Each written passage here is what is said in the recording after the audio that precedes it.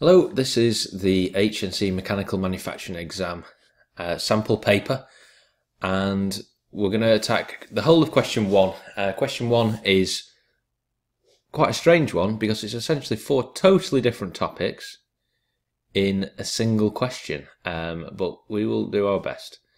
So, throughout this entire paper, we're going to apply some uh, basic principles, um, which is one, we're going to uh, state the variables in the question. Uh, two, draw a diagram. Three, note relevant formula.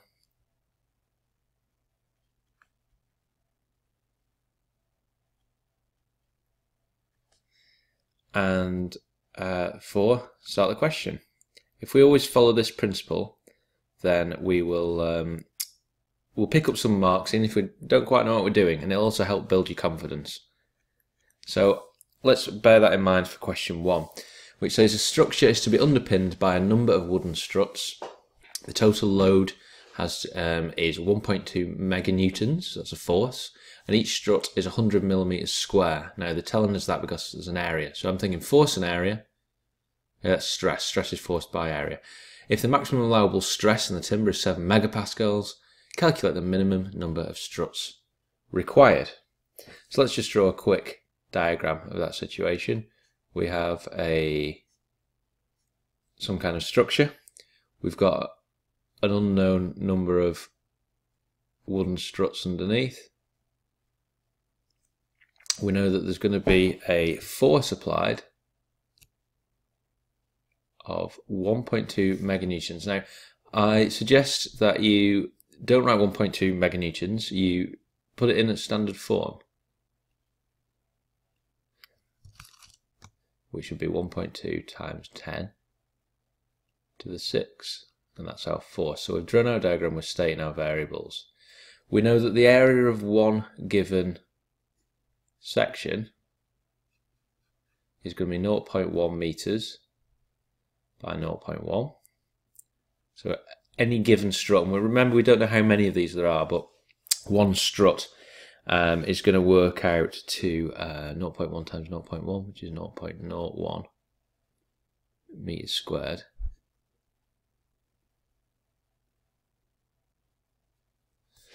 Um, right then, so let's formally state our variables. So our force is 1.2 times 10 to the 6. Our maximum allowable stress is 7 megapascals, which is 7 times 10 to the 6. And the actual area to, to allow the situation, we don't know because that's a function of how many uh, struts there are. So our area is an unknown value. So we state our formula. So force is equal to, uh, or rather, let's try again. Stress is equal to force by area. So let us just quickly rearrange that so that we find the scenario. So I'm going to take area to the top.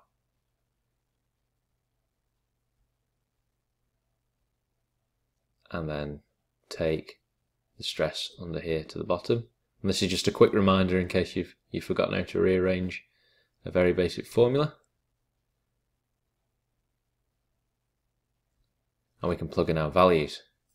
So in this case, our area is going to be equal to the force, 1.2 times 10 to the 6,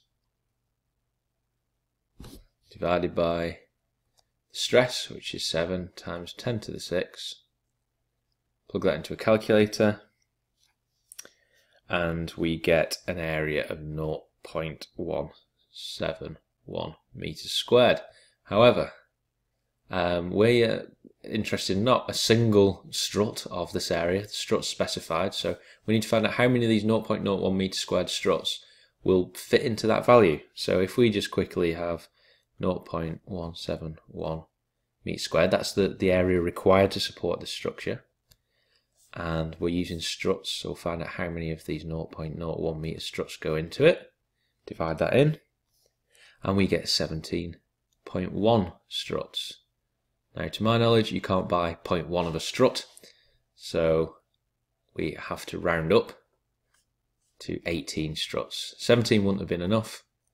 We need 18, and that is our solution. So the trick with this is not to get suckered into thinking, oh, well, you, you should be spotting that stress is force over area, but just don't get suckered in by trying to plug the area directly into this. You're trying to work out the area required to support the structure, and then divide that up by how many struts there are. So that's question 1A.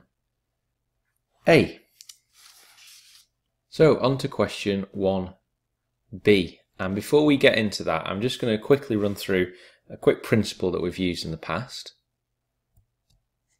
If we have a force acting in a given direction, let's suppose this is 10 newtons, acting at an angle of 30 degrees, then this force, even though it's pulling in a diagonal manner, it has an x component and it has a y component. That is to say that a bit of the force is pulling up and a bit of the force is pulling along. And the way we've resolved, and that's the correct mathematical term, we've resolved this 10 newtons into the x and y plane by simply going in the x direction, it'd be 10 through the angle cos 30. And given this is a right angle here, this would be 60 degrees. The y would be 10 through the angle cos 60. And if we wanted to be clever about it, we could also write 10 sine 30. And in some of my other videos, I go through this in more depth. And it is possible to solve this next problem using this method, but it will lead to a number of uh, simultaneous equations, which uh, can be a little tricky to deal with. So there's actually a simpler method, which I encourage you to use in this situation called the parallelogram rule. So we are going to attempt to apply that method now. So we have a resultant force acting on a gusset plate of uh, 1.45 kilonewtons. Uh, it's acting at 30 degrees. And instead of finding the resultant like we normally have to do and use a bit of Pythagoras uh, to work out the resultant, we're given the resultant and we have to work out this force, this unknown force, P. So let us draw a diagram. We'll continue with our initial method, state variables, diagram, relevant formulae, and then get stuck in. So let's do that. Okay, so 1b. So let's draw a diagram. Uh, we have a point. We have our 300 Newton acting in the positive x. We have our uh, resultant. Oops, of 1450 and remember that trick if it's kilonewtons or megapascals or meganewtons or whatever prefix they use write it directly down in standard form or as an integer. Don't be writing kilonewtons. You will get confused when it comes to put it in your calculator uh, we also have this angle here this unknown force P at an unknown angle so the way the parallelogram rule works, and I will use a different colour for this, is you construct a parallelogram uh, and then you use cosine rule to resolve the problem. So in a parallelogram, so called because there's parallel lines, this P will have an equivalent here, so these two sides here are the same. And similarly, we'll have this 300 Newton element here. These are the same as well. So this is also 300 newtons. Now what we have is we have some triangles and we have the cosine rule which we can use. So let us redraw this triangle so that we can use a simple cosine rule um, to to solve it. So just draw that quickly. So this triangle here represents this particular area. Now I just need to label up the sides. Now we can see that this angle here is 30 degrees. This force here, or this side, is 1450. Now the other week when we covered this in class, someone asked the question, why can you use a force as a side? Well, forces, by definition, are a vector. They have both direction and magnitude. So in this force triangle, which shows the direction, the magnitude is simply the side length. So we have 300 newtons or 300 side here, and we've also got an unknown side, P, which is the force. So if we apply cosine rule here, and remember cosine rule is not the SOHCAHTOA business of right angle triangles, that only, that's not a right angle triangle, only applies for a triangle with a 90 degree in it. This does not have a 90 degree in it, so we need to use the cosine rule. The cosine rule will be stated on most examination formula sheets, this one included, but it says that an unknown side a squared is equal to b squared plus c squared minus 2bc times cos A. And of course, three rules of BIDMAS, that's effectively in brackets. What on earth do all these letters represent?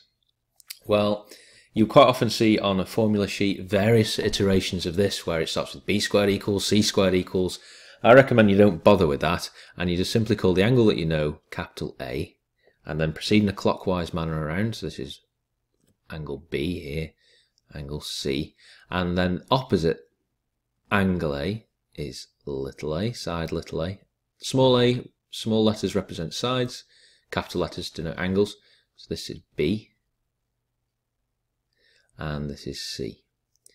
So in order to find this unknown quantity P, it's effectively side little a here. So we can plug in our numbers now. So a squared is equal to b squared, which is in this case 300 squared, plus c squared, 1450 squared minus 2 times b times c, so 300 times 1450, 300 times 1450 times the cos of A, which is an angle we know, happens to be 30. And I'm going to plug that into my calculator in 1 um, don't be trying to work this out separately. If you've got a Casio FX85 GT Plus as the course demands, then that's exactly what this um,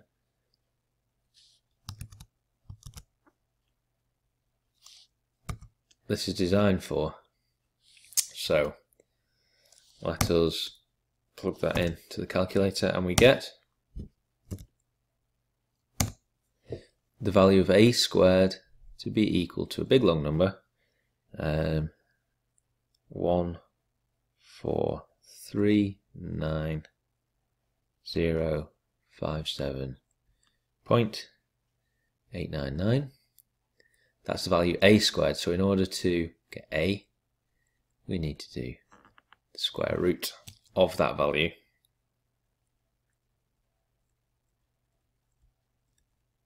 Which is equal to P.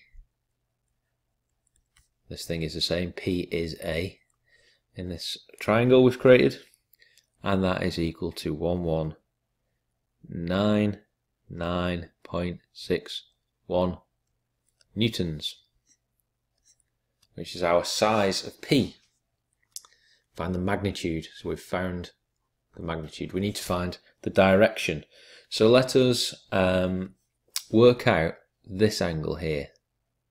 This is a thing that we don't know. And rather than use a question mark, what we'll actually do is use the Greek letter theta as is common for angles.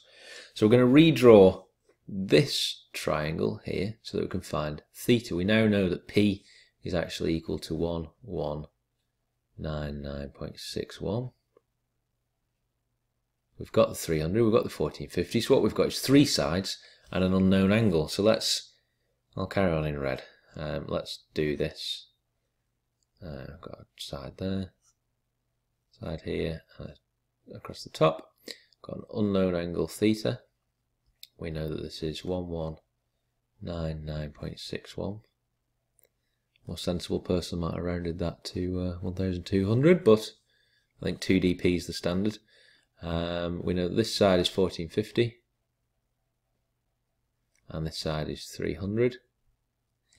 I'm going to attempt to use the magic of Photoshop just to demonstrate what this thing is. That is just that bit of the triangle there.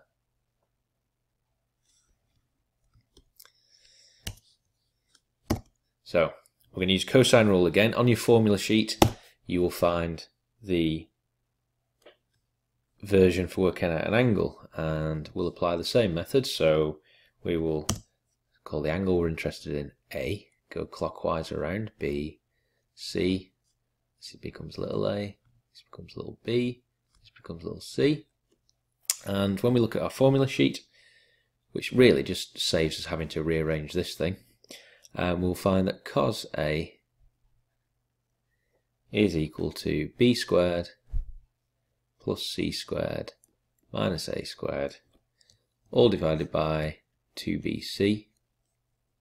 Because the examiners are nice, they don't make you rearrange this, they actually give it you on the formula sheet. So we just need to stick that into our calculator and plug in the value. So in our this case it's 1450 squared plus c squared, which is uh, 1199.61 squared, minus a squared, which is 300,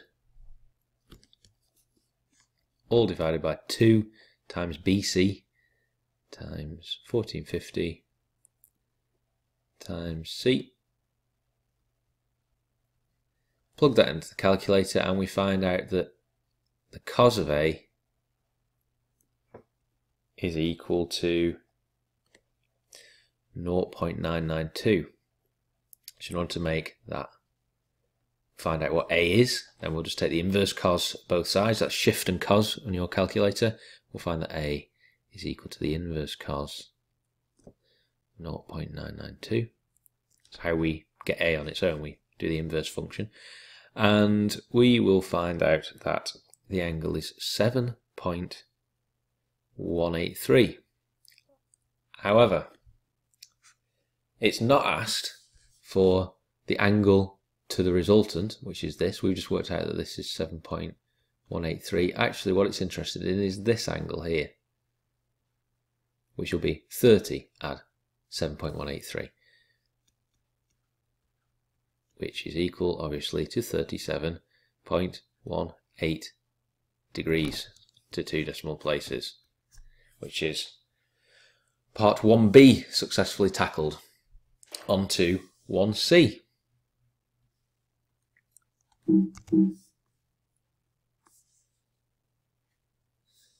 Okay, 1c um, is a linear um, Suvat equation uh, question. So planning machine I looked this up. I don't know what a planning machine is. A planing machine has one N.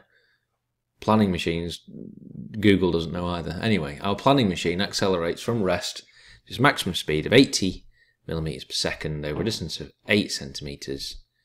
Continues at a distance of. foot. So the first thing I'm seeing is I'm getting some distances, all in millimeters or centimeters. We need SI units. We want to be working in meters and there's a number of steps. In these types of questions, you need to break it up into a journey. So what we'll do is draw the journey out. So it starts from rest. So before we get into the question, remember the Suvat equations. S U V A T. S is displacement or distance, layman's terms. U is initial velocity. V is final velocity. Sounds like a film title. A is acceleration. T is time. And there's various Suvat equations of the nature, things like S equals ut plus half at squared. There's a number of them. They're on your formula sheet, and we'll uh, select the one that is relevant when we get to that point. But let's first, after stating our variables, we will draw our diagram. So rest, remember, is exam speak for u being 0. So let's draw this out. So initially, our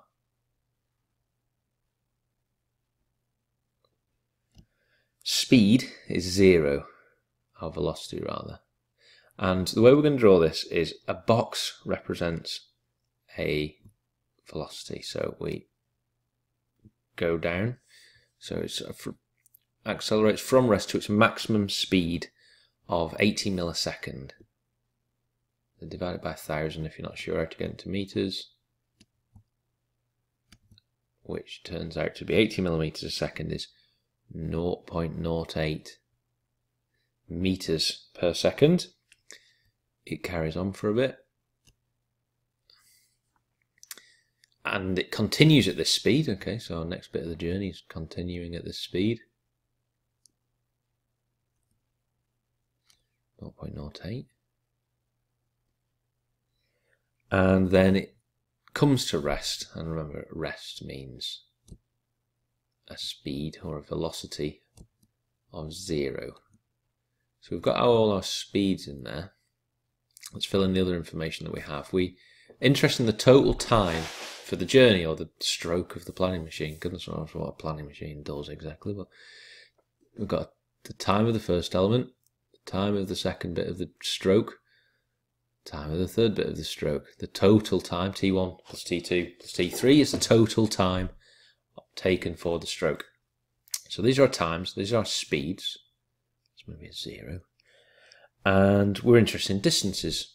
So it accelerates the first bit of the journey is over 8 centimetres or 0.08 metres. The second bit of the journey appears to be over 48 centimetres or 0.48 metres. And the third bit of the journey, it comes to rest in, in 8 centimetres also.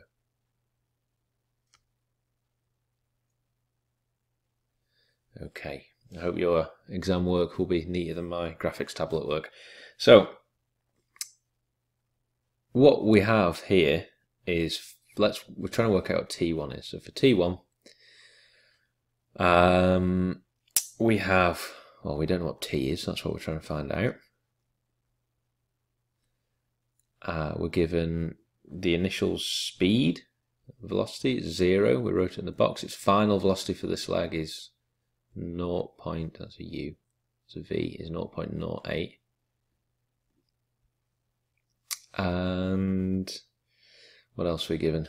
Um, S, the distance, which is 0.08. So at this point, you look on your formula sheet to try and find one of the Suvat equations that links together all these letters. We're not interested in anything that's got an A in, because we're not given A.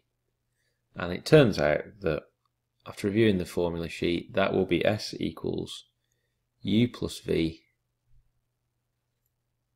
t over 2. We'll plug our values in. So we'll have 0.08, that's s, equals u plus v. So 0 add 0.08 is just 0.08 times t, which is the thing we're not sure about, all divided by 2. So let's rearrange to get t. So before I can get at the t, it's being divided by 2, so I'll take that up there. So 2 times 0.08 is 0.16, which is equal to 0.08t. t's been times by this value, so I can take that under there. So 0.0, oops, 0.16, take that under there. is going to equal t. Resolve that in your calculator or in your brain, and you'll get t equals 2. 2 seconds for the first stage. Now, I'm going to be quite lazy here. You'll notice it's the... In fact, you know what? I'm not going to be quite lazy. Don't do that in the exam. I was about to say this is going to be the same calculation because you've got u plus v. It's just v and u the other way around. So the last stage will be 2. But let's work it round. Don't take shortcuts like that in the exam. Because if you get it wrong, you'll get no marks for working. Right, time two. So this section of the journey. So we're interested in the time. We've given the u, in this case is 0.08. The v for the second bit, where it ends up, that is 0.08. And distance or the displacement for this bit of the stroke is 0.48. So it's the same set of variables, we use the same equation. So we will end up with the following 0.48 is equal to u plus v, 0.8 add 0.8, 0.08 add 0.08, t, the unknown value, divided by um, 2. I'll rearrange again. So 2 times 0.48 is going to be 0.96 is equal to 0.8 at 0.8 will be equal to 0.16t. Divide both sides by 0.16. So t is equal to 0.96 divided by 0.16, which comes out as 6. 6 seconds. I did that a slightly different way than I did in the first place. If you're not sure on that, then just revisit that first section of the video. You should be able to rearrange that um, quite easily by the time of the exam. So the final bit, now my prediction was it'd be t equals 2. Let's just run through it. The third section, we're interested in the time. We're given u is it starts off at 0.08. Um, oops. It ends up at 0 because it's come to rest and it does this over a distance of point uh, 08, 8 centimeters. Plug that into our formula. So S, so 0.08 is equal to, and I'm plugging this into this formula, remember, U plus V, so it's 0.08, add 0, times T over 2 can we see that this will resolve to 0.08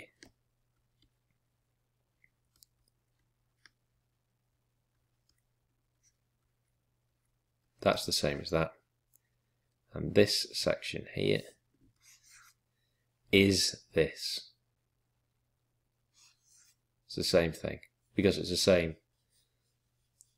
Speed up and slow down uh, same constant acceleration Anyway, we resolve that as equal in 2. We could do it manually again. So the total time for the journey will be 2 plus 2, 4, plus 6, 10. The total stroke time for the planning machine is 10 seconds. Whether that is fast or slow for a planning machine, I have no idea. On to question 1D. Right, the final part of this beast of a question is 1D.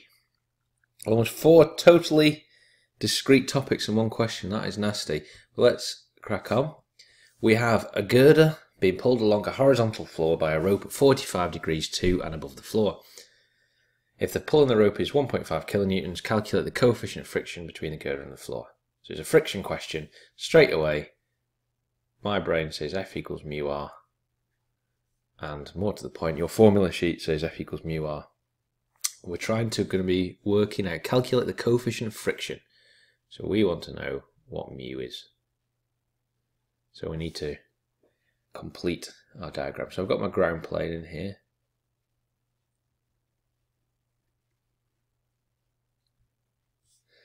And rather than draw a girder, and the free body diagram says that we just draw a particle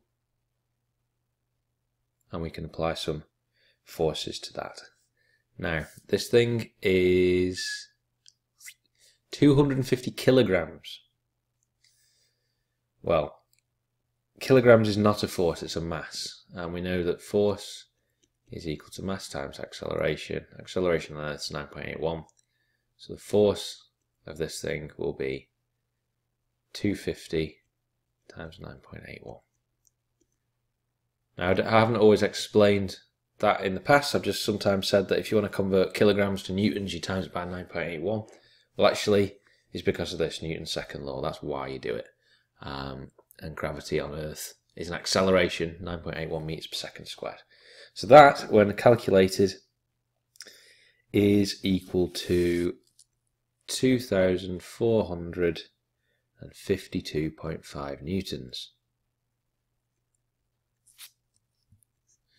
Okay, so the force exerted by this girder on the ground plane, oh, there we go, is um, two. Very strange, my trackpad's not working. There we go. Um, two, four, five, two point five newtons. So normally, if this wasn't being pulled by a rope, then let's do a better job than that.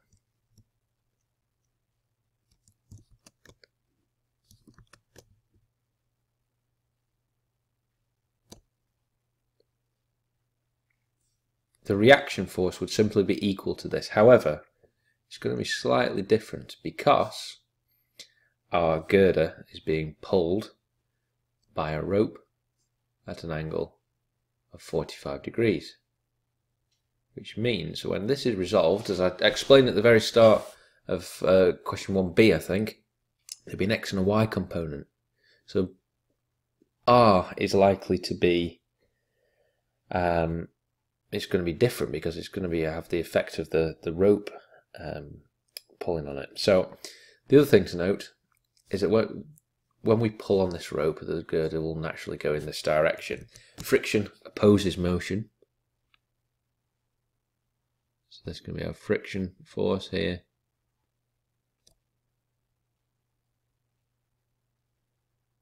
And denote that with FR so we don't confuse it with force. So that's our frictional force. So at the point of movement, um, we'll call this TR for tractive force. At the point of movement, the tractive force will equal the frictional force.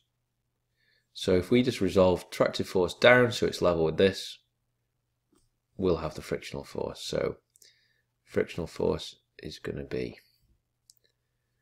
Tractive force, are we given that? Hope so. Ah, 1,500 newtons. It'd be 1,500 cos 45. Plug that into a calculator, we find out our friction force is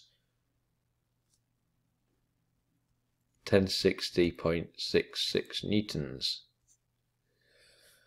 When I asked for that, we're asked to find mu. So, we have our friction. This is unknown. We need to find our reaction force next. So then, reaction force. Well, we know that that is going to be equal to 2452 minus whatever the, the y component of this force is. Let's do that. So effectively it's being pulled up a little bit as well as being pulled along. So for r, it's going to be equal to 2452 minus,